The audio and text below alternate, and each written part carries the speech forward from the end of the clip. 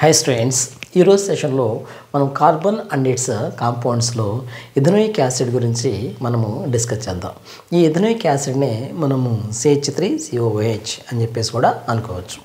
దాంతోపాటుగా మొట్టమొదట physical properties వచ్చేటప్పటికల్లా ఇథనోయిక్ యాసిడ్ అనేది ఒక కలర్లెస్ అన్ప్లెజెంట్ ఆర్డర్ సొల్యూషన్ అంటే దీనికి కలర్ ఉండదు ఆ తర్వాత స్మెల్ ఏమో అన్ప్లెజెంట్గా ఉంటుంది. ఆ తర్వాత ethanoic acid is a good solvent దీనిలో ఈజీగా కరుగుతుంది. దాంతోపాటుగా ఈ ఎథనోయిక్ యాసిడ్ అనేది వాటర్ కన్నా కూడా కొంచెము ఎసిడిక్ నేచర్ ఎక్కువగా ఉంటుంది. ఆ తర్వాత five to eight percent of the ethanoic acid solution in water is called as vinegar vinegar అంటాం. అంటే మనము ఒక ఫైవ్ టు ఎయిట్ పర్సెంట్ కనుక వాటర్ సొల్యూషన్లో తీసుకుంటే ఈ ఎసిడిక్ యాసిడ్ని మనము వెనిగర్ అని చెప్పేసి అనుకుంటాం. ఈ వెనిగర్ని మనం పికిల్స్ని ప్రిజర్వ్ చేయడం కోసం మనము ఎక్కువగా వాడుకుంటూ ఉంటాం. అవన్నీ కూడా ఫిజికల్ ప్రాపర్టీస్ ఇప్పుడు మనము కెమికల్ ప్రాపర్టీస్ని చూద్దాం. ఈ కెమికల్ ప్రాపర్టీస్ వచ్చేప్పటికల్లా మొట్టమొదట ఈ ఇథనోయిక్ యాసిడ్ని దేంతో రియాక్ట్ చేద్దాం? అంటే కనుక రియాక్షన్ విత్ సోడియం సోడియంతో రియాక్ట్ చేద్దాం. సోడియంతో రియాక్ట్ చేసినప్పుడు మొట్టమొదట ఏమవుతుంది? అంటే కనుక ఇక్కడ సిహెచ్ త్రీ సిఓఓహెచ్ ఆ తర్వాత దాన్ని మనము సోడియంతో రియాక్ట్ చేసామనుకోండి. ఇప్పుడు సోడియంతో రియాక్ట్ చేస్తే ఈ సోడియం ఏమవుతుంది? ఇక్కడ హైడ్రోజన్ దగ్గరికి వెళ్ళి దాని ప్లేస్ ఆక్యుపై చేస్తుంది.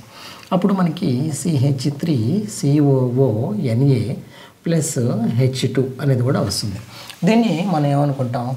సోడియం ఇటు నుంచి చదవాలి. సోడియం ఇథాక్సైడ్ ఏమని చదవాలి దాన్ని? Sodium ethoxide sodium estate sorry అది కనుక మనము ఆల్కహాల్తో ఇది కనుక సోడియం ఇథాక్సైడ్ ఇదేమో సోడియం ఎసిటేట్ సోడియం ఎసిటేట్ అని చెప్పేసి మనం అనుకుంటాం. ఇట్లా చదవాలి. Sodium acetate. ఆ తర్వాత reaction with hydrogen sodium reaction with sodium hydroxide. Sodium హైడ్రాక్సైడ్తో కనుక సోడియం హైడ్రాక్సైడ్ అంటే కనుక ఇది ఆల్కలి. ఆల్కలి అంటే కనుక బేస్. దాంతో మనం రియాక్ట్ చేస్తే ఎలా ఉంటుందో చూద్దాం. సో మొట్టమొదట సిహెచ్ త్రీ సిఓఓహెచ్ కనుక ఎన్ఏఓహెచ్తో రియాక్ట్ అయితే మనకి అప్పుడు ఏమవుతుంది? అంటే కనుక ఇంతకుముందు చెప్పినట్టుగానే ఈ సోడియం అనేది ఎక్కడికి వచ్చి దీని ప్లేస్లో ఆక్యుపై చేసుకునేది? అప్పుడు ఏమవుతుంది? సిహెచ్ త్రీ సిఓఓ ఎన్ఏ అంతే కదా? ఈ హెచ్ బదులుగా ఎన్ఏ రాసుకోవాలి. ప్లస్ హెచ్ టూ దీన్ని ఏమనుకుంటాం మళ్ళీ? సోడియం ఎస్టేట్ అనుకుంటాం. దీన్ని ఇంకా అనుకోవచ్చు అంటే సాల్ట్ అనుకుంటాం. దీన్ని వాటర్ అని చెప్పేసి అనుకుంటాం. దీన్ని న్యూట్రలైజేషన్ రియాక్షన్ అని చెప్పేసి కూడా అనుకుంటాం. ఇదేంటంటే యాసిడ్. ఇది బేస్. ఈ రెండు కలిసి సాల్ట్ వాటర్ ఏర్పడుతున్నాయి కాబట్టి దీన్ని న్యూట్రలైజేషన్ రియాక్షన్ అని చెప్పేసి అనుకుంటాం. ఆ తర్వాత reaction with carbonates. Reaction with carbonates. Carbonates metal carbonates లేదా బైకార్బోనేట్స్. సో దీంతో రియాక్ట్ అయితే కనుక మనకి ఈ రియాక్షన్ అనేది ఎలా వస్తుందో చూద్దాం.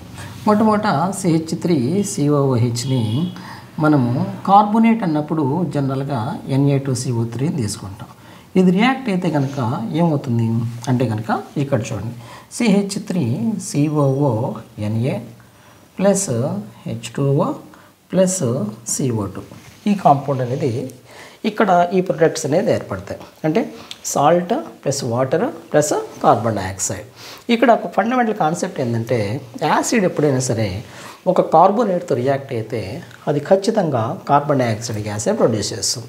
చాలా ఇంపార్టెంట్ ఇదేమో అది కార్బోనేట్ ఒకవేళ బై కార్బోనేట్ అంటే ఇంకో ఎగ్జాంపుల్ తీసుకుందాం. CH three COH plus NAH CO three sodium బైకార్బోనేట్తో react అయితే కనుక అప్పుడు మనకి ఎట్లాంటి ప్రోడక్ట్ వస్తుంది? చూడండి CH three COONA plus H two O plus CO two so మనకి ఈ విధంగా మీరు అబ్జర్వ్ చేశారా? రెండు కూడా ప్రోడక్ట్స్ ఒకటే ఉన్నాయి. అంటే కార్బోనేట్స్ కానీ మెటల్ కార్బోనేట్స్ కానీ యాసిడ్తో రియాక్ట్ అయితే కనుక అప్పుడు ఏమవుతుంది అంటే కనుక కార్బన్ డైఆక్సైడ్ గ్యాస్ అనేది ప్రొడ్యూస్ అవుతూ ఉంటుంది. I hope that this session is helpful for you please support మీ నాన్న విష్ ఆల్ ద బెస్ట్